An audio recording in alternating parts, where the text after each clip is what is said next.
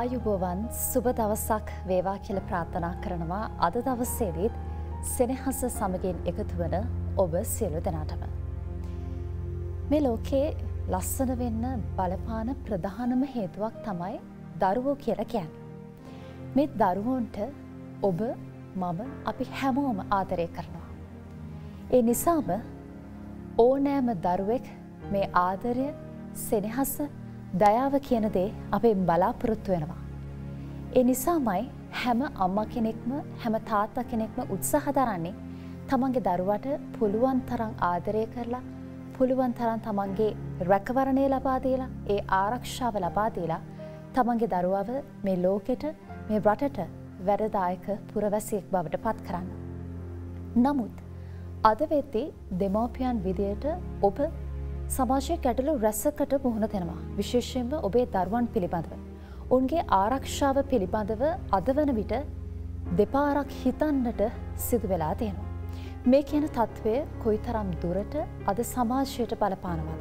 මේ නිසා ඔබ අදවේති දෙමාපියෙක් විදිහට වැඩිහිටියෙක් විදියට මොන වගේ පීඩනයන්ට මුහුණ දෙනවද ඒවගේම ඔබ හමුවේ මොන වගේ ප්‍රශ්නයන්ද මේ වෙලාවේ පැනනැගිලා තියෙනවා. මේ සඳහා විසදුම් දෙන්නයි අද දවස්සේදී සෙනෙහස තුළින් අපේ මේ ඉඩහස්සර වෙන් කරන්නට අපි සූදානම් වනින්. අද දවසේදී අපි සූදානම් මේ පිළිබඳව කතා කරන්නට තින් විශේෂ ආරාධිතාමුත්තෙක් අපි අද දවස්සේදීත් අපේ මැදරයට කැදෙව්වා. අද දවසේද අපිත් සමගින් එකතු වනවා ජාතික ළමාරක්ෂ අධිකාරිය සභහපති ජේෂ්ඨ කතිකාචාර්ය උදේකුමාර අමරසිංහ මහතා අයිබුවන් කියලා ඔබතුමන්න පිළිගන්නවන්. අපි දන්නවා අද වන විට මේ දරුවෝ ගැන කතා කරන්නට බොහෝ දෙනෙක් ඉදිරිපත් වෙනවා. ඒ වගේම බොහෝ ආයතන තියෙනවා පෞද්ගලික ආයතන වේවා රාජ්‍ය ආයතන වේවා මේ දරුව වෙනුවෙන් පිණි සිටින කැමති ආයතනන්නවා. හැබැයි අපි ආපස්සර හැරල බැලුහාම දරුවන්ගේ ප්‍රශ්නකදී මේ ආයතනවල කාර්යභාරය ඒ විදියටම ඉටු වෙනවද. ඒ වගකීම ඒ ආකාරයෙන්ම ඉටු වෙනවද. ඒ නිසාමයි අපි හිතුවේ අද දවසේදී මේ දරුවම් පිළිබඳව කතා කරන්නට දරුවෝ වෙනුවෙන් වගකීම් රැසක් ඉටු කරන ජාතික ළමාරක්ෂක අධිකාරයේ තත්ත්වය පිළිබඳව එහි කාර්යභාරය පිළිබඳව ඔබව දැනුවත් කරන්නට. ඇතරම සභාපතිතුමනි මොකක්ද මේ ජාතික ළමා ආරක්ෂක අධිකාරය කියන අපි දන්නා විවිධ ආයතන බිහිවෙලා තියෙන විවිධ රාජ්‍ය ආයතන තියෙනවා පෞද්ගලික ආයතන තියෙනවා. හැබැයි ඇත්තටම මේ ජාතික ළමා ආරක්ෂක අධිකාරය කියලා කියන මොකක්ද? අපි මේ තුළින්ම අපේ වැඩසටහන අද ආරම්භ කරමු. බොහොම ස්තුතියි. අද ඔබ විසින් මෙවැනි සාකච්ඡාවකට මුල පිරීම සම්බන්ධයෙන්. අපි සමාජයේ විවිධ කාරණා සම්බන්ධ විවිධ පුද්ගලින් සම්බන්ධය කතා බහ කරන අතර තුර අපට හමුවන ඉතාමත්ම වැදගත් අදහසක් තමයි මේ දරුවන්ගේ ආරක්ෂා පිළිබඳ අදහස. දරුවන්ගේ ආරක්ෂාව දරුවන්ගේ රැකවරණය සුභසාධනය පිළිබඳ ඇතිවෙලා තිබෙන මෙම සාකච්ඡාව අද ඊ ආරම්භවුණු සාකච්ඡාවක් නොවේ. අපි කවුරුත් දන්නවා සමාජයක විධ තරාතිරමය පුද්ගලීන් සිටිනවා මේ විධ තරාතිරමය පුද්ගලීන් අතර මේ දරුව කියන්නේ සුවිශේෂි කණ්ඩායමක් හැටියට තම නිරන්තරයෙන් අපි හඳුනාගෙන තිබෙන්නේ. ඔබ මේ ආරම්භේදීම සඳහන් කරා වගේ Eh, දරුවන් eh, සුරතල් දරුවන් ආරක්ෂා කළ යුතුයි දරුවන්ට ආදරේ රැකවරණය ලැබිය යුතුයි කියන කාරණය අපි අවවාදයම පිළිගන්න කාරණය එකට විශේෂ හේතුවත් තිබෙනවා. Eh, ඒ හේතුව තමයි දරුවෝ නිරන්තරයම වැඩියන් වැඩිහිටියන්ගේ රැකවරණය ආරක්ෂාව හා මගමැන්වීම යටතේ කටයුතු කළ යුතු තවමත් බුද්ධිමය වශයෙන් හෝ අත්දැකීම් මතින් කායික වශයෙන් මුහකුරා ගියාය නෙවේ දරුව කියලා කියන තිනිසා මේ කායික වශයෙන් මුහකුරා නොගේ නිසා අත්දැකීම අවබෝධය අතින් වැඩිහිටියන්ට සාපේක්ෂව ඔවුන්ට මඟ පෙන්වීම් ලැබී නිසා ලැබිය යුතු නිසා නිරන්තරයම මේ දරුවන්ට අපේ ආරක්ෂාව රැකවරණය අවශ්‍ය වෙනවා. තුර ආරක්ෂාව රැකවරණය බිඳ වැටීම නිසා මේ දරුව විවිධ ප්‍රශ්නවලටත් මුහුණ දෙනවා. දරුවන්ගේ ළමා කාලයේදී පවනක් නෙවේ ඒ අය වැඩිහිටියෝ බවට පත් වනහම වැඩිහිටි කාලසීමාවෙදිත් මේ දරුවන් ඔවුන් ළමා කාලෙදි අත්විඳපු ඉතාම කටුක අමිහිරි අප්‍රසන්න දුක්බර අත්දැකීම් නිසා ඒ දරුවන් වැඩිහිටියෙක් බවට පත් වනහමත් විවිධ ප්‍රශ්නවලට මුහුණ දෙනවා වගේ මේ වැඩිහිටියාගෙන් සමාජයකට යහපතකට වඩා අයහපතක් තමයි සිද්ධ වෙන්න. දරුවන් සම්බන්ධයෙන් ඔවුන්ගේ ආරක්ෂාව රැකවරණය සුභසිද්ධිය සංවර්ධනය වගේ කාරණා නිරන්තරයෙන්ම ලෝකෙ පුරාම කතාවෙන. මේ කතාබහ ඇත්ත වශයෙන්ම වසර සියගානකට පෙර ආරම්භූණු කතා බහ. අපි දන්නවා ලෝකේ දරුවන් සම්බන්ධයෙන් වැඩිපුරම සංවිධානාත්මක වශයෙන්. නීතිමය වශයෙන් සාකච්ඡා කරන්න අවශ්‍ය මුලපිරීම සිද්ධ වනේ පළවෙනි ලෝක යුද්ධයෙන් පස්සේ. පළවෙනි ලෝක යුද්ධයෙන් පස්සේ මේ දරුව විශාල වශයෙන් පීඩාවට පත් වනා ලෝකේ. ඉති මේ ගැන විවිධ සංවිධාන විවිධ පුද්ගලයෝ උනන්දු වෙලා විවිධ සංවිධාන කොට නැගුණා.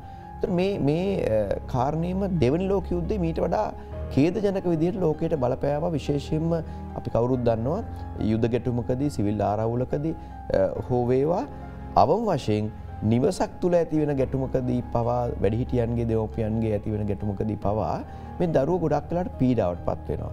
ඔවුන් අසරණ වෙනවා.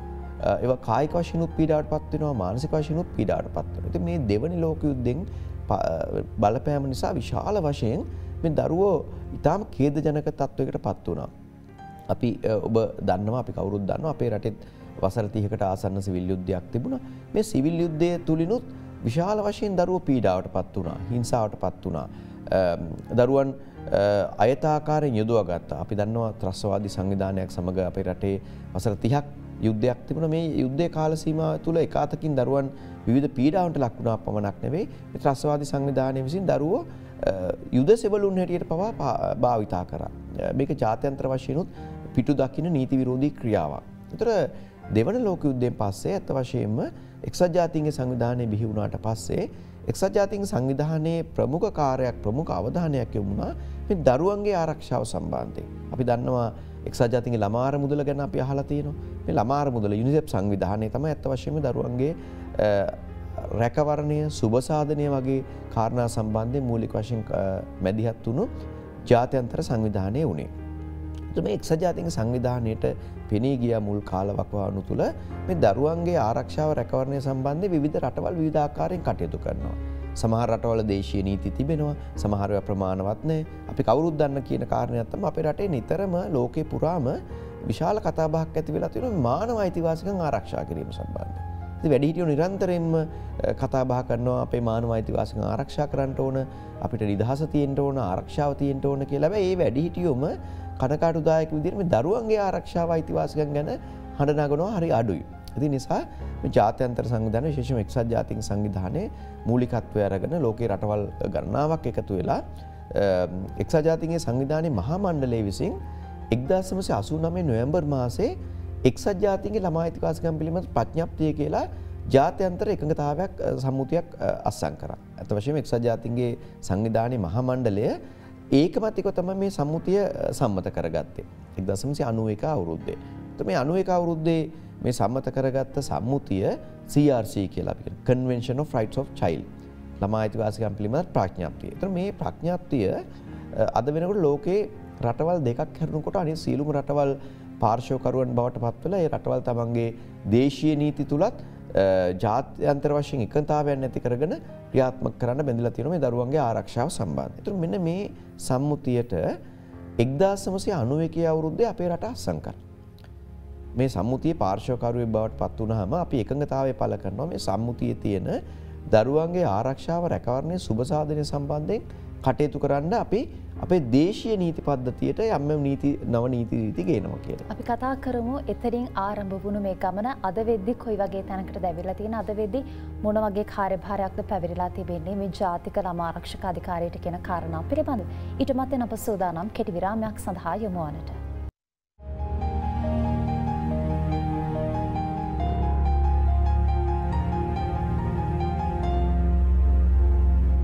ඔබ අලිත් එකතු වන්නේ සෙනෙහස වැඩසටහනත් සමගින්. සභාපතිතුමනි අපි නැවතත් නවත්තපු තැනින්ම අපේ කතාව ආරම්භ කරමු කොයි ආකාරයෙන්ද මේ ජාතික ළමා ආරක්ෂක අධිකාරී ආරම්භය කියන කාරණාව පිළිබඳව. ඔව්.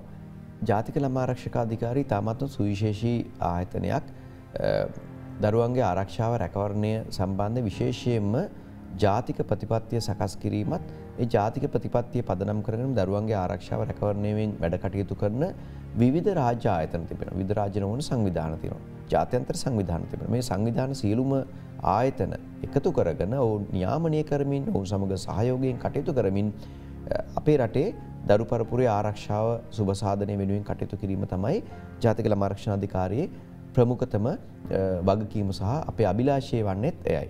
මම මේ සාකච්ඡා වාරම්භේදී මුලපිරීමක් කරක් දසමසය අනුව එක අවුරුද්දේ අපේ රටේ එක්සත් ජාතිගේ ළමයි ආසිකම් පිළිබඳ ප්‍රඥාප්තියට අත්සන් තබලහි පාර්ශකරුව බවට පත් වනා කියලා. හැබැයි අපේ රටේ නීතියේ ඉතිහාසය දිහා බැලුවහම මේ නීතිමේ ඉතිහාසය තුළ දරුවන්ගේ ආරක්ෂාව රැකවරණය වෙනුවෙන් සුරක්ෂිත්තාවය වෙනුවෙන් මේ සම්මුතියට අස්සන් තබන්නට පෙරත් විධ නීතිරීති තිබුණා. දැන් උදාහරණයක් හැටිකිවොත් දරුවන්ගේ අයිතිවාසිකම් හැටියට අපි සලකනවා ඔවුන්ගේ පැවැත්මට අදාලා අයිතිවාසිකම් දැන් සජාතින්ගේ ළම අයිතිවාසිකම් පිළිබඳ සම්මුතියේ ප්‍රධාන අයිතිවාසිකම් කාණ්ඩ හතරක් ගැන කතා කරන්න. එක කාණ්ඩයක් තමයි අපි කියනවා පැවැත්මට අදාලා අයිතිවාසිකම්. රයිට් of සවයිවල් කියලා කියන. එවුන්ට ඔවුන්ට ජීවත්වීමට ජීවිතය පවත්තාගෙනයමටත් අයිතියක් තියෙනවා කියලා පිළිගන්න තිබෙනවා. ට සවත් අයිතිවාසිකම් සමූහයක් අපි වර්ග කරගන්න තිබෙනවා රයිට් of ප්‍රොටෙක්ෂන් කියලා. ආරක්ෂාවීමට ඇති අයිතිය. මේ ආරක්ෂාවීමට ඇති අයිතිය තම ගොඩක් කලාට හැම රටකම් වගේ දරුවන්ගේ තර්ජනයට ලක් වෙලා තිබෙන ඔවු විධාකාර හිංසාවට ලක් වෙනවා පහරදීම් තුවාල සිදු කිරීම් ලිංගික කටයුතුවලට දරුව අයිතු ලෙස යොදවා ගැනීම බලහත්කාරයෙන් යොදවා ගැනීම ශ්‍රමිකයෙන් හැටිය යොදවා ගැනීම වගේ කාරණා ඉතාම මයස්සනවන්තාකාරයෙන් සිද්ධ වෙන මේ මේ වැරදි ගොඩක් රටවල් වල අපරාධ නීතියෙන් තහනම් කරු බරපතල වැරදි දරුවන්ට එරෙහිව කරන වැරදි. ඉට පස් තවත් අයිතිවාසිකන් සමූහයක් ගැන කතා කරනවා රයිට් of ඩිවලප්මන්් කියලා සංවර්ධනයට ඔවුන්ට අයිතියක් තියෙනවා කියල ඔවුන්ට අධ්‍යාපනය ලබන්ඩ ඇතුළ ඔවුන්ගේ ජීවිතය සංවර්ධනය කරගන්න ගොඩනගා ගන්න මේ දරුවන්ට අයිතියක් තියෙනව කියලා අපි පිළිගන්න. ඒවගේම රයිට් of පාටිසිපේෂන් කියල. දරුවන්ට බලපාන කාරණා සම්බන්ධය උන්ට තමගේ මත ඉදිරිපත් කරන්න අදහස් ප්‍රකාශ කරන්න වැඩිටියන් සමඟ අදහස්සූ මාරු කරගණ්ඩ දරුවන්ට අයිතියක් තියෙනවා කියලා පිළිගෙන තිබෙනවා. මේ අයිතිවාසිකම් කාණ්ඩ හතර අතුරින් සමහර අයිතිවාසකන් ආරක්ෂා කිරීමට මේ සම්මුතියට අත්සං කරන්න පෙර සිටම අපේ රටේ යම් යම් නීතිීන් තිබුණා දැන් අපි උදාහරණයකට කිවොත්වේම අපේ රටේ අපරාධ නීති ව්‍යස්සාපිතින්ති බොහොමයක් ඉංග්‍රීසි පාලන කාල සීමාව හඳුන්ලාදීප නීති දැන් උදාහරණයකට කිවොත්වේම අපේ රටේ අපරාධ වැරදි සඳහන් කලා තිබෙන දණ්ඩනීති සංග්‍රහය එක්දා සටසේ අසූතුනය අවුරුද්ධ තමයි බ්‍රතාාන පාලකය හඳුන්ලා දුන්නේ. එපමනක් නෙවේ තවත් සුවිශේෂී නීතිරීති තිබෙනවා. අයාලාචා පනතක එක්දා සටසය අනුගණන්වල හඳුන්ලාදීප. ඉන් අනතුරුව නිදහසෙන් පස්සේ හඳුන්නා දුන්නා කාන්තාවන් තරුණින් හා ළමයින් සේවේදයෙන් පිළිබඳ ආච්ඥා පනත එවගේම ළමයින් හා යවනින් පිළිබඳ ආච්ඥා පනත මේකත් ටිකක් පැරණි ආච්ඥා පනතක් ඒවගේම අනිවාර්ය අධ්‍යාපනය ලබාදීම සම්බන්ධයෙන් වන නීතිරීති ද මේවා ඇත්ත වශයෙන්ම මේ දසමසය අනුව එක අපි ජාත්‍යන්තර සම්මුතියට පාර්ශකරුවන් වෙන්න පෙර සිටම තිබුණු නීතිරීති. අනි පැත්තෙන් අපේ රටේ අපි කවරුත් පිළිගන්න උත්තරීතර නීතිය හැටියට පිළිගෙන ආණ්ඩු ව්‍යස්ථා නීතිය. එක්දස්මසි හැත්තාට තමයි අපේ ආණ්ඩු ව්‍යස්ථාව දැනට ක්‍රියාත්මකන ආණ්ඩු ව්‍යස්ථාව සම්මත කර වෙන්නේ. මේ ආණ්ඩු ව්‍යස්ථාවේ රාජ්‍ය ප්‍රතිපත්ති මෙහෙවීමේ මූලධර්ම කියන කොටස තුළ තිබෙනවා ළමයින් හා යව්වනින්ගේ ආරක්ෂාව රැකවරණය සුභසාධනය විශේෂම වුන් ආත්මාර්ථය පිණිස යොදා ගැනීම පැලැක්වීම රජයේ යුතුකමක් හැටියට. තොර රජ යුතුකමක් හැටියට ඒ වගකීම ඒ යුතුකම පුරවැසියන් හැටියට අපිටත් හිමි වෙනවා. මොකද ආණ්ඩුකයස්සාාවෙන් නිරූපණය වෙන්නේ නියෝජනය වෙන්නේ පුරවැසියන්ගේ අයිතිවාසකම් සහ උන්ට තිබෙන බලය. ඒ වගකීම ආකාරයෙන්ම ඉටුවෙනවාද කියන කාරණා පිළිබඳව අපි කතා කළ යුතුයි සභාපතිතුමනි. දැ මේ කියන කාරණාවන් එක බැලුහාම ළමයි වෙනුවෙන් ළමයිගේ අයිතිවාසිකම් විශාල ප්‍රමාණයක් තියෙන එතකොට ඔවුන් ආරක්ෂා කර ගැනීමට විධ ආඥා පනත් නිර්මාණය වෙලා තියෙනවා.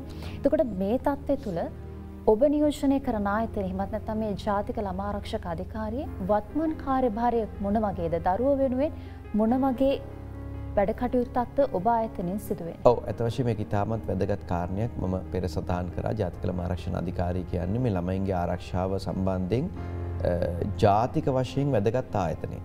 මේ ආයතනයට මම පොඩ්ඩක් අර ඉතිහාස කතාවක් තමයි මේ කොහොමද මේ ආයතනය ගොඩනගෙන්න්න සුවිශේෂි බැලපෑවිකෙන ම පෙර සඳහන් කර එක්ද සම්සය අනුව එක අවුරුද්දේ අපි ළමයිතිවාසකම් පිළිබඳ විශ්පකාශයට අස්සන් තැබුවට පස්සේ පාර්ශකරුවන් වුණට පස්සේ එයින් අපි වගකීමක් බාරගෙන තිබෙනවාම දරුවන් සම්බන්ධය කටයුතු කරන්න සුවිශේෂී යාන්ත්‍රණයක් වැඩ පිළිවෙලක් විශේෂම ජාතික ප්‍රතිපත්තිය ක්‍රියාත්ම කරන්න දරුවන්ගේ ආරක්ෂාව සම්බන්ධයෙන් ආයතන එකක් අවශ්‍යයි කියන එක.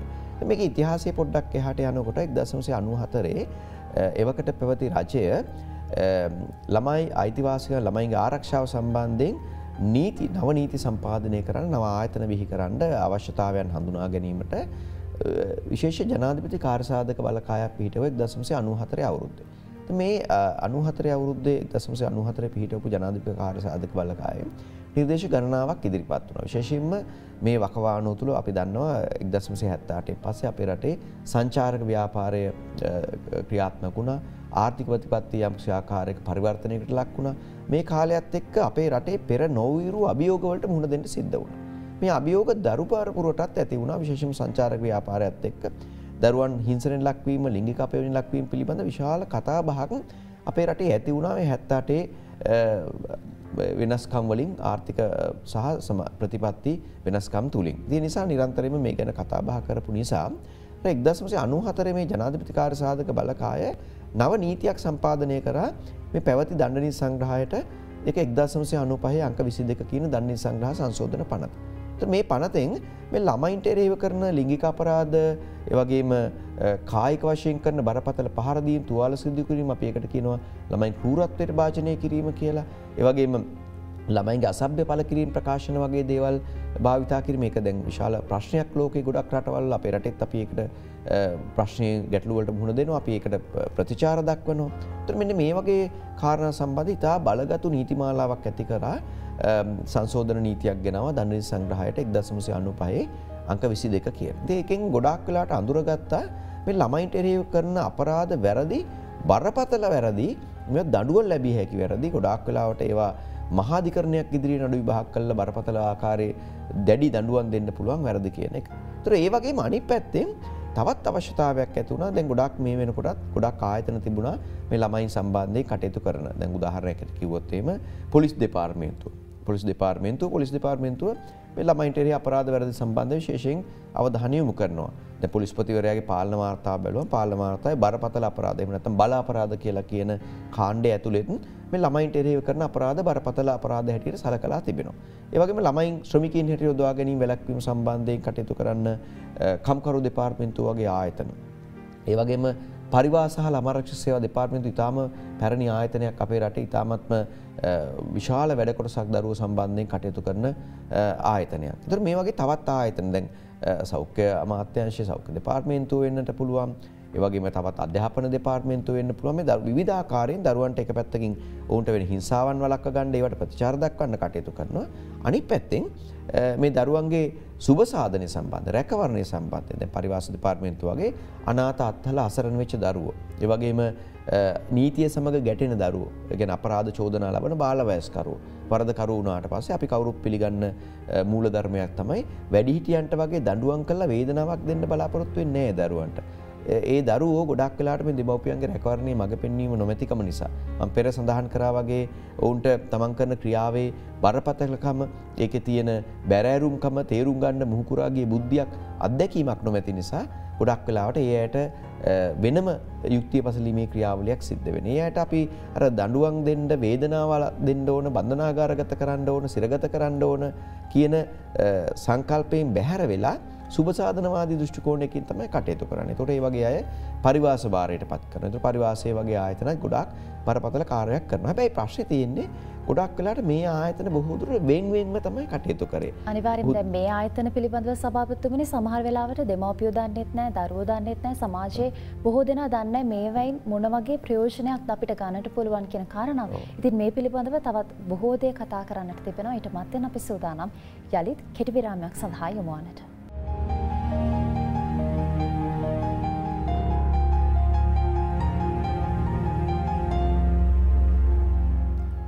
සෙනහස තුළින් හැමදාමත් වගේ තමත් කාලෝචිත සමාජය ඔබ මුහුණ දෙන ගැටලු පිළිබඳවයි අප අපේ මාතෘකා විදියට තෝරාගෙන මේ විදියට ඔබත් සමගෙන් කතාබහ කරන්න. ඉතින් අද දවස්සේදි ඒවාගේම සුවිශේෂීව මාතෘකාවක් වන දරුවාගේ ආරක්ෂාව සම්බන්ධයෙන් ළමා ආරක්ෂක අධිකාරයේ තත්ත්වය ඔවුන්ගේ වැඩ පිළිවෙල ඔවුන්ගේ කාර්යභාරයකු යාකාරෙන්දි කෙන කාරණා පිළිබඳවයි මේ විදියට කතාබා කරමින් සිටින්නේ.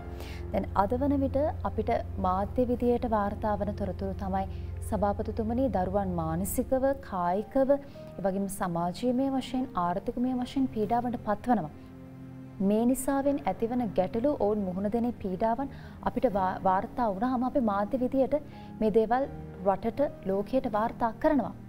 නමුත් කෙනෙක්ට ගැටලුවක් වෙනට පුළුවන් කෙනෙක්ට හිතනට පුළුවන් මේ තුළින් දරුවෙකුගේ හෙට දවසට යම්කිසි ගැටලුවක් ඇතිවන්නට පුළුවන් නේද කියන කාරණාව. ඇත්තටම කොයි වගේ තත්ත්වයක්ද තියෙන මේ සිදුවීම්වල. ඇතවශම ඔබ මතු කරපු කාරණ ඉතාමත්ම වැදගත් සහ කාලීන මාතෘකාවක්. කාරණයක් තමයි ඔබ මතු කරේ.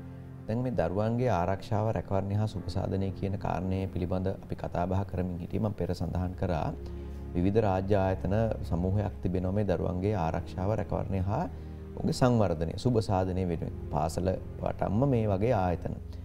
නමුත් එක්දස්මසේ අනුවටය අවුරුදු තමයි අපේ රටේ පාර්ලිමෙන්තුව එක්දස්මසේ අනුවටංක පණහා කියන පනත පණහාදරන ජාතිකල මර්ශනාධිකාරිය පනත සම්මත කර ගැනීමෙන් පස්සේ මේ ජාතිකල මර්ශනාධිකාරය ආරම්භ කරේ.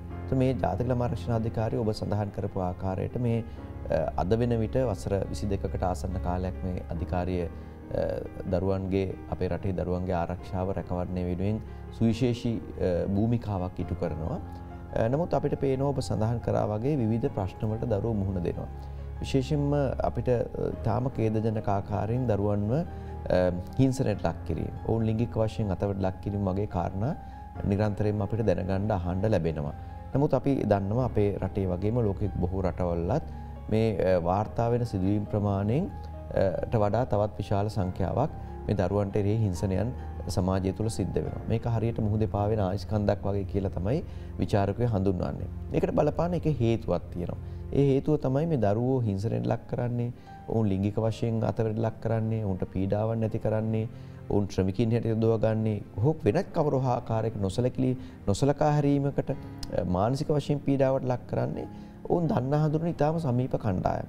පට හරි අඩුවෙන් තමයි වාර්තා වෙන්නේ දරුව අඳුරන්න ඇති දැකල නැති අය අතරින් කායික වශයෙන් පහරකෑමකට ලක් වුණා ලිංගිකාතට ලක් වුණා කියන කාරණය එනත මානසික වශයෙන් පීඩාවට ලක් වුණා කියන කාරණය හරීම අඩුවෙන් තමයි වාර්තා වෙන්නේ දන් අඳුරන්න නැති අයගෙන්. ගොඩක් වෙලාවට පවුලේ සාම අම්මා තාත්තා වැඩිහිටි සාමාජිකයෝ ඒ වගේම භාරය ආරක්ෂාව දරණ අය ගුරුවරු වෙන්න පුළුවන් මේ අය අතරින් තමයි ගොඩක් වෙලාට මේ හිංසාවන් අපයෝජනයන් හෝ අයුතු ආකාරය කරන යම්සි ආකාරය හිංසාවන් දරුවන්ට එරයෝ සිද්ධ වෙන්නේ. එතුට මේ මේවා ගොඩක් වෙලට වාර්තා වෙනවා. වාර්තාාවෙනකට ඔබ සඳහන් කරාවගේ ද මාධ්‍යවලින් ඇත්ත වශයෙන් මාධ්‍යත් හිතනවා මාධ්‍ය යුතුකමක් තිබෙනවා මේ සිද්ධ වෙන දේවල් වාර්තා කරන්න ඕන කියන කාරණය. අනිවාර්යම අපි වාර්තා කරන්න මෙවැනි සිදුවීමක් ආයිතවස්සක අපිට මේ විදිටම වාර්තාාවෙන නැතිවේ කියන පණවිඩ පණවිඩේ ජනතාවට දෙන්න. ඔය ඒ කාරණය බොහෝ මාධ්‍ය සද්භාවයෙන් කරන කාරණයක්. ඒවගේම අද වෙනකොට ගොඩක් කලාට මේ සමාජ මාධ්‍ය නිව මීඩියා කියල සෝශල් මීඩියාවලනුත් වටසැප් ෆේස්බුක් වගේ වගෙනුත් මේ දරුවන් සම්බන්ධය විධ කාරණ වාර්තා කරනවා. හැබැයි මේකේ පැති දෙකක් මම මගේ අත්දැකී මාශ්‍රයෙන් අඳුරගෙන තිබෙනවා. කත්තම ඔබ සඳහන් කරාවගේ මේ තොරතුරු රටේ ජනතාව දැන ගැනීම වැදගත්වෙනවා රටේ ජනතාවට පණිඩයක් ලැබෙනවා. මින් ඉදිරිය උන්ට හිතන් අවස්ථාවක් ලැබෙනවා මාධ්‍ය හරහා. මේට දඩුවන්තියන මේ කරන්න පමව දරුවන් පීඩාවට පත්වෙනවා කිය කාරණය. හැබැයි තවත් පැත්තකින් අපිට අපේ තියෙන අත්දැකීම තමයි දරුව විශේෂයෙන්ම මම පෙර සඳහන් කරු මේ දරුවන්ට කෘරත්වයට භාජන කිරීම පහරදීම තුවාල සිදු කිරීම ලිංගික වශයෙන් අතට ලක් කිරීම වගේ සිදුවීම් ගත්තා මේවා තරපතල අපරාධ. තොට මේ අපරාදොලට ගුදුරුවීම නිසා අපිට ඉතාම වාසනවන්තද සමහර දරුව මරණයට පත්වලා තිබෙන අපි පහුගේ මාසකීපය තුළ අපිට අහන්ඩ දකිින් ලැබුණ මුලතිව පුදුකු ඩිරිප්පු ප්‍රදේශයේ ම පෞද්ගලිකම ප්‍රදේශයට ගිහිල්ල ඒ නිවසේ දෙමවපියන් හම වෙලා බැලුව අවුරුදු දහතුනකට ආසන්න දහතුන සම්පූර්ණ වෙලා නැති ගැහැනු දරුවේ. පවුලේම සාමාජිකෙක් අතින් ලිඟි අතර ලක්වුණු බවට සැක්කරුවක් ඉන්නවා ඒ දරුවක් ඝාතනය කල්ලා තිබුණා. ඒවගේ අපි දැක්කා පහුගේ කාලේ හැටන් ප්‍රදේශය සිදුවන සිදුවීමක් මාධ්‍ය මගින් වාර්තා කරා ඒ වගේම නාවල පිටිය ප්‍රදේශයේ අවුරුදු දාහතරක දැරියක් ගැහැනු දරුවෙක් පහරදීමකින් තුවාල වෙලා මරණයට පත් වුණු බවට වාර්තා වුණ අර එක තාත්ත කෙනෙ බීමත්ව ඇවිල්ල තමන්ගේ දරුවන් ගස්වල බැඳල පහර දුන්න. එතුට මේක ප්‍රශ්නය තියෙන්නේ අපි බලන්ඩ ඕන මේ දරුව ගොඩක් දෙනෙක් මේ සිද්ධිය සිදුනාට පස්සේ එක නීතියට ආවට පස්සේ පොලිසියට වාර්තාාවනට පස අධික ඉදිරිපත් වනාට පස් මේ දරුව තමයි සාක්ෂිකරුව. මේ දරුව වින්දිතයෝ මේ අපරාධ නිසා පීඩාට පත්වෙච්ච වින්දිතයෝ. තවට අපි සමාජය හැමතිස්සෙම බලාපොරොත්තු වෙනවා මේ අපරාධ කරපු මිනිස්සු සැකකාරයෝ හැටි රත්තඩංගොට ගන්නයි වර්ධකාරෝ බට පත්වෙන්න මේ දරුවන්ගේ සාක්ෂය තම ඉතාමත් වැදගත්වෙන් හැබැරම පෙර සඳහන් කරපු කාරණයට ගියොත්තේම හැබැයි මේ දරුවන්ට මේ හිරිහර කරන බොහොම දෙනෙක් පවුලේ සාමාජිකයෝ මව්පියෝ වෙන්න පුළුවන් ඥාතීන් වෙන්න පුළුවන් භාරහා රක්ෂාව දරන්නන්න වෙන්න පුළුවන් ගුරුවරු වෙන්න පුළුවන්. තුර මේ දරුවෝ මේ සාක්ෂිය දීලා ආපහු යන්නේ ගොඩක් වෙලාවට මේ හිංසකයන් අතරටම තමයි මේ අපයෝජකයන් අතරටම තමයි. ඒ නිසා ගොඩක් වෙලාට මේ දරුවෝ දෙපාරක් හිත එතකොට ඒ පියානං ඒ වැඩිහිටියෙක් නම් ඒ භාරකරුවෙක් නම් දරුවා ඉතාම සතුටින් ආදරයෙන් පිළිගන්නේ නෑ මොක තමන්ට එරෙහිව සාක්ෂියක් දීපු නිසා. ඉතින් නිසා ගොඩක් වෙලාට අපිට පේනවා මේ දරුවෝ සාක්ෂි ලබා දීම අතරමඟ අතහැරලා දානවා. එහෙම නැත්නම් මේ යුක්තිය පසුල මේ ක්‍රියාවලින් එය ඈත් වෙනවා. මොකද එයාට බලපෑම් තිබෙනවා. අපි දන්නවා සමහර මව්වරු පවා කියන අවස්ථාවල් අපිට වාර්තා වෙලා තියෙනවා. දැන් මේ මිනිසයා මේ මෙහෙම දෙයක් වුණා තමයි. හැබැයි මේ මිනිසයා ගැන ඔබ පොලිසියට ගිහිල්ලා කිව්වට පස්සේ දැන් මේ මිනිසයා හිරේ ගියාම කවුද අපිව බලාගන්නේ? ඉතින් ඒකෙන් ඒක ඒක ඇත්ත වශයෙන්ම ඉතා කනගාටුදායක තත්ත්වයක්. බලා ගන්න ඕන තරම් මිනිස්සු ඉන්නවා. දෙවරක් හිතන්න නැතු මොකද අපි එක අපයෝජකයෙක් මේ තමන් දන්න කෙනෙක් ගුරුවරේ තමන්ගේ වැඩිහිටියෙක් ඥාතියෙක් කියලා අතහැරලා දැම්මොත් ඒ දරුවා එක පැත්තකින් අකණ්ඩව අපයෝජන ලක් වෙන්න අපි පාර කපනවා. අනිත් පැත්තෙන් ඒ මනුස්සයා එතනින් නොනවති අනිවාර්යෙන්ම තවත් මේ වගේ දරුවෝ අපයෝජන ලක් කරනවා. ඉතින් ඒ නිසා අපි අපයෝජකයෙකුට සමාජයේ යහතින් ඉන්න දෙනවා එකන නීති ඉදිරියට ගේන්නතු ඉන්න ඉඩකට සලකසනවා කියන්නෙම තවත් අපයෝජනයන් රාශයකට අත වැනීම. ද මාධ්‍ය සම්බන්ධයෙන් තියෙන කාරණය මං පෙර සඳහන් කරපු කාරණය තමයි දැන් අපවගේ දිනවල අපි දැක්ක වරින්වර මේ දරුව මම කිවේ මේ දරුවෝ වින්දිතයෝ මේ සාක්ෂිකරුවෝ එතුර මේ අය ගැන වාර්තාකන සමහට මාධ්‍ය ඉතාම කෙටි අර ඇස් දෙක විතර පොඩි තීරුවකින් වහලා පත්තරවල විද්‍යුත්සා මුද්‍රිත මාධ්‍යවල වාර්තාක් නැබැයි පවුලේ අයි දන්නවා මේ කවුද කියලා. කොළඹ ඉන්න කෙනෙක් දන්න එතුනට අනුරාධපුරේ ළමයා ගැනනිතාවේ හැබැයි ප්‍රදේශය දන්න පාසලේ අය දන්න තමන්ගේ ජාතීන් හිතවතුන් දන්නවා. එක පැත්තකින් මේ ළමයව සමච්චලයට අපහසට උපහසට ලක් වෙනවා. සමහර දරුව ලිංගි කතවට ලක් වුණාම ඒ අය මහා වරදකරුවන් හිටිය දකින මේ ළමය තමයි විදිතයක්. බේලම තම පීඩට පත්වලා ති මේ ළම තම අසරන් භාවට පත්වලා තින බයි සමහර වැඩි හිටියෝ පවා ගුරුවරු පවා ඇතැම් පාසල්ල සියලු දෙනාමන තාම කලාතුරකින් අපට හමුවෙලා තින ය හිතනවා මේ ළමයාගේ නැටිල්ල වැඩි. මේක මේ වුණේ මේ මේ ළමයාගේ අපි හිතුවෝකද මේක ඉතාම දරුවගේ පැත්තට දරුවගේ පැත්ත තමයි මේ චෝදනා පටලවන්න ඉතින් අපි දරුවාව රකගණ්ඩ ඕන උපකාර කරන්න ඕන අවස්ථාවක මේ දරුව අපරාධයට ගොදුල්ල පීඩාට පත්වලා ඉන්න අවස්ථාවක සමාජයම එකතු වෙලා මේ වැඩිහිටියම එකතු වෙලා තවතවත් දරුව පීඩාට පත් කරනවා. ඇති අනි පැත්තෙන් මේ දරුවා මාධ්‍යවලින් වාර්තා වුණාට පස්සේ. ඔබ හිතන්න ප්‍රධාන ප්‍රවෘත්ති විකාශනයක විද්‍යුත් මුද්‍ර විද්‍යුත් මාධ්‍යයක මේ දරුවාගේ ඡායරූපය පලවුණට පසේ දරුවට ස්කොල්ට යන්න පුළුවන් කමන්න.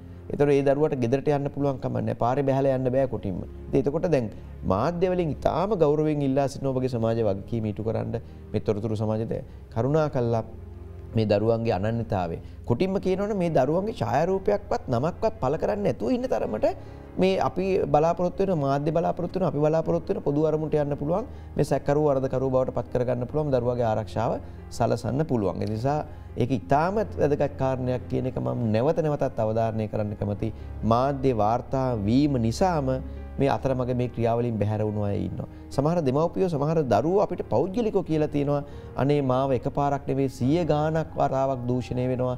ඇයි මාව මේ රූපහිනය පෙන්න්නන්නේ ඇයි මගේ පොටෝ මේ ඡායරූප දක් පත්තරවල දාන්න කෙන ඒක ඉතාම කේදන කාරණයක්. අනිවාර්යම සභාපතිතුමනි ඔබතුමා කියන කාරණාවට අනුව මාධ්‍ය විදියට ඒවගේම රජයක් විදියට ඒවගේම පුරවසයන් විදියට දෙමාපියෝ විදියට අපි හැමෝටම මේ දරුවන්ගේ ආරක්ෂාව වෙනුවෙන් අපිට වෙන්වෙච්ච වගකීමක් තිබෙනවා අපිට පැවරිච්ච වගකීමක් තියෙනවා. එනිසාවෙන් එයින් මිදීමට අපිට කොයි වෙලේකවත් හැකියාවක් ලැබෙන්න ඒ නිසාවෙන් පුළුවන් තරම් තමන්ගේ දරුවන් ආරක්ෂා කරගන්න ඔවුන්ගේ ආරක්ෂා වෙනුවෙන් හැම වෙලාවම හිතල වැඩ කරන්න අපි පුරුදු වෙනට ඕනති මේ ගැන තවත් බොහෝ දේ කතා කරන්න තිබෙනවා ආරාධනා කනාව රැඳෙන කියලා පිස්සෝදානම් කෙටිවිරාමයක් සඳහා යොමුවනට.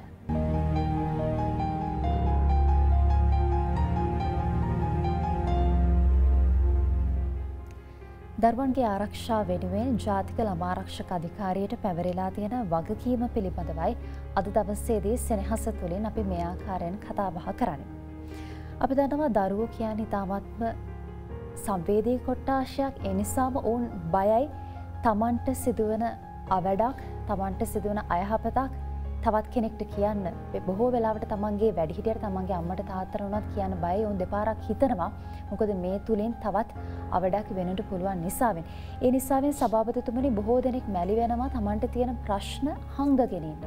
තමන්ට තියෙන ප්‍රශ්න අවශ්‍ය ආයතනයට ගිහිලා කියන්න උන් බයයි. ඒවගේම ඔවුන්ගේ පිළිබඳ මේ ආයතන පිළිබඳව තියෙන දැන්වත්භාවය අඩුයි. මේ තත්ත්වය නැති කරන්න මොන වගේ වැඩ පිළිවෙලක්ද ක්‍රියාත්ම කරන්න පුළන් ඒ වගේ මේ දරුවන්ගේ ආරක්ෂා වෙනුවෙන් අධ්‍යාපන අමාත්‍යංශයත් සමග එකතු වෙලා මේ පාසල් ජාලය තුළ අපිට යම්කිසි වැඩ පිළිවෙලක් නිර්මාණය කරන්න බැරිද ඔබ ආයතනෙත් සහ ඇතු මේ දරුවන්ගේ ආරක්ෂාවත හරු කරන්නට. ඇත්ත වශයෙන්ම ජාතික ළමාරශ්නාධිකාරය මේ වන විටත් එවැනි වැටස්ටාන් රාශයක් ප්‍රජාව තුළ සමාජය තුළ ක්‍රියාත්මක කරමින් සිටිනවා. ජාතික ළමරශ්නාධිකාරිය නිලධාරින් ලංකා පුරාම කටයුතු කරනවා. ලංකාවේ දිස්ත්‍රික්ක විසි පහේ හැම ප්‍රාදේශිලේකම් කාර්යාලයකම ප්‍රාදේශල මරශ්නධාරයෙක් සේවය කරනවා. ඒවගේම දිස්ත්‍රික් නිධාරයෙක් සේවය කරනවා. එව දිස්ත්‍රික් මනෝ සමාජීල් ධාරීන් කියල කණ්ඩායමකුත් ඉන්නවා. එත මේ අය මොනවද කරන්නේ කොහොමද ඇත් එක්ක ප්‍රජාව සම්බන්ධ වෙන්න කියන කාරණයත් මම කෙටියෙන් සඳහන් කිරීම වැදගත්වේ කියලා හිතෙනවා. දැ මම පෙර සඳහන් කරාක් දසමසය අනුවට අංක පනා කියන ජාතික ළමර්ශණ අධිකාරී පන්නතින් තමයි මේ ළමාර්ශණ අධිකාර ස්ථාපිත කරන්න. මේ අධිකාරයට සුවිශේෂී වගකීම් ගණනාවක් පැවඩලා තිබෙනවා. මේ වගකී මම පෙර සඳහන් කර දරුවන් වෙනුවෙන් ඔගේ ආරක්ෂාව රැකවරණය සුභසාධනය වෙනුවෙන් කටයුතු කරන ආයතන රාශයක් තිබෙනවා අපේ රටේ. මේ ආයතන වෙන්වෙන්ව තමයි බොහදුරට කටයුතු කරේ. නමුත් මේ පනත සම්මත කර ගැනීමෙන් පස්සේ ජාතික ආයතනයක් බිහුණා ජාතිකල මරක්ෂණාධිකාරය කියලා මේ ආයතනත් එක එකතු වෙලා වැඩ කරන්න. මේ ආයතන විතරක්නවේ ජාතිල මරක්ෂණාධිකාර විතරක්නව අපි දන්නවා යම්කිසි අරමුණක් ඉටු කරගණ්ඩ තනි තනියෙන් වැඩ කරනවාට වඩා කණ්ඩායමක් හටිට වැඩකරොත් තමයි ප්‍රතිඵල ලඟා කරගන්න පුළුවන් වෙන්නේ.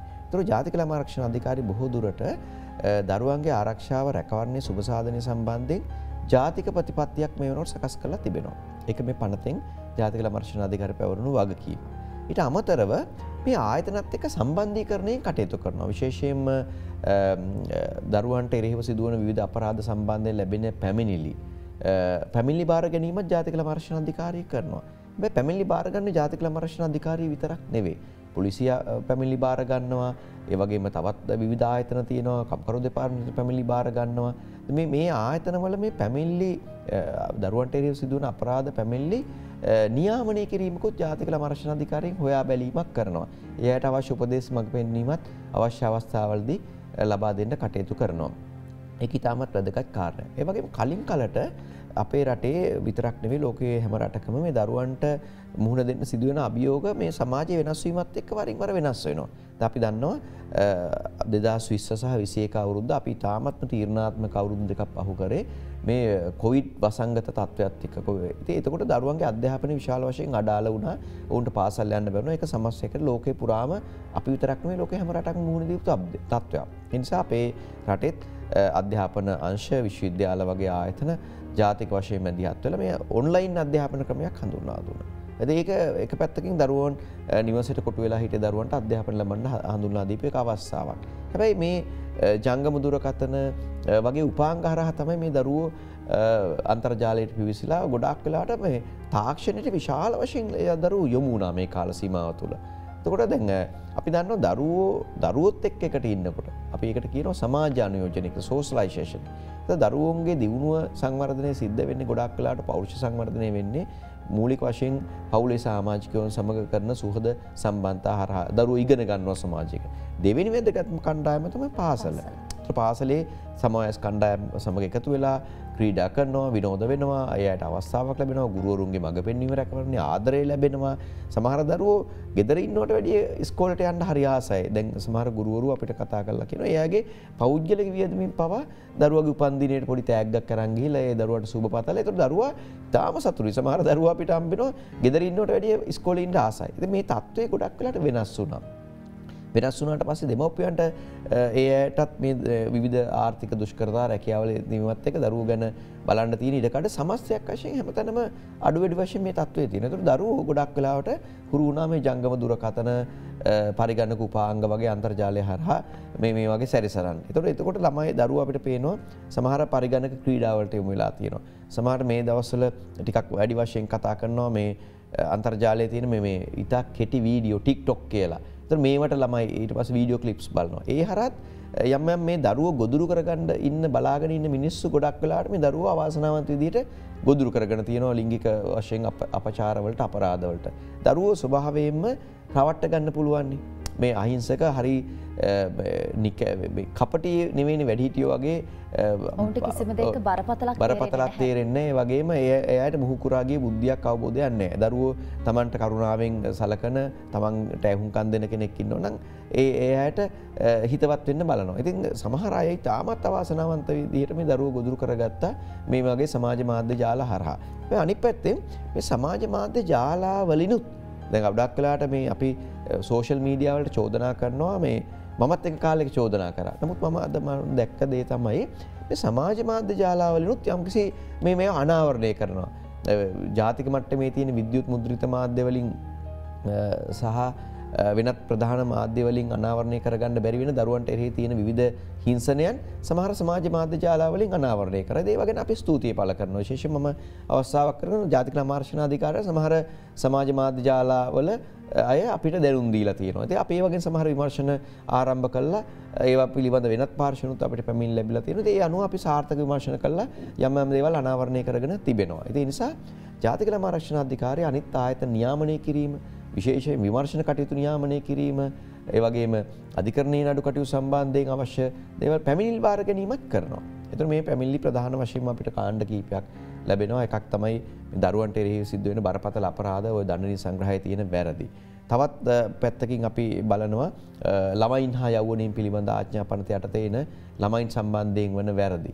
එවන් කම්කරු දෙපාර්මේන්තුවෙන් කාන්තාවන් තරුණින් හා ළමයින් සේවයෙන් පිළිබඳ ආච්චම ළමයින් ශ්‍රමිකින් හැටියට යොදව ගන්නවා එයාගේ අධ්‍යාපනයට දිවි පැවැත්මට බාධාවක් වන ආකාරය.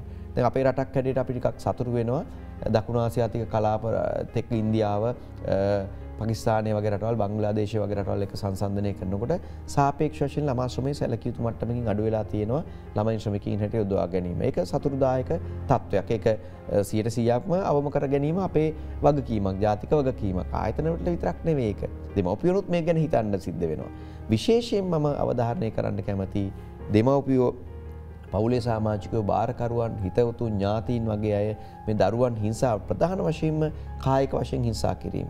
මේවා ගැන යල් පැනගිය සමහර මත තියෙන මිත්‍යා මත තියෙනවා. ගොඩක් දෙනෙක් හිතනවා මේ දරුවන්ට ගහන්න නැතුව මේ අය හදාගන්න බෑ කියලා. දැන් අපි අහන එක හරි වැදගත් කාරණයක්. සමාජයේ බරපතල සමහරට වැඩිහිටි ඉතාම ඉහළ තනතුරු වල ඉන්න අය කියනවා මේ දරුවන්ට ගැහුවේ නැත්තම් හදන්න බෑ. ඒ අය කියනවා ගුටි අපි ඒ අපි සමහර වැඩිහිටියෝම ඇවිල්ලා කියනවා මාධ්‍ය ඉස්සරහට සමහර ස්වාමීන් වහන්සේලා ධර්මදේශනය කරන කොටත් කියනවා අපිටත් මේ ගුරුවරු ගහලා හදපු නිසා තමයි අපි අද මේ තැන්වල ඉන්නේ කියලා. දරුවා හැඩගැස්වීමට දෙන දඬුවමට වඩා එහා ගිය දඬුවම් කායික වශයෙන් එතොට බලන්ට මේ දඩුවන් කරන දරුව හදන්ඩ දඩුවන් කරනවා කියන වැඩීටියෝ දරුවට දඩුවන් කරන වෙලා සතුරින්ද ඉන්නේ සතුරින් නෙවේ කෝපයෙන් දේශ සහගතව ඉන්නේ ඒ යම්සි පවුලේ ආරවුලක් හින්දාහව දෙමවපියන්ගේ වැඩිහිටෙක් අම්මයි තාත්ත රණ්ඩුනහම අම්ම බැනුම් ඇහුවම දරුවන්ට ගහනවා ඒවා අපි දැකලා තියෙනවා. ගුරුවරු දඩුවන් කරන්නේ ඇත්තටම ගුරුවරු සතුටින් ඉන්න වෙලාවට නෙමෙයි. ඔබ අප කවුරුත් සතුටින් ඉන්න වෙලාවට දරුවන්ට දඩුවන් කරන්නේ නැහැ.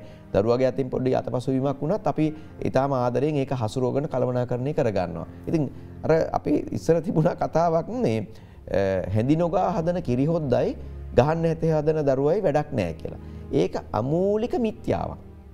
ලෝකේ කිසිම රටක ඔප්පු කල්ලා නෑ කායික වශයෙන් දඩුවමට දක්වුණු දරුව සුපිරි දරුව බවට පත්වෙලා තියෙනවා යහපත් දරුව බවට පත්වෙලා තියෙනවා ඉතාම සාධනය මට්ටම ඉන්නවා කිය.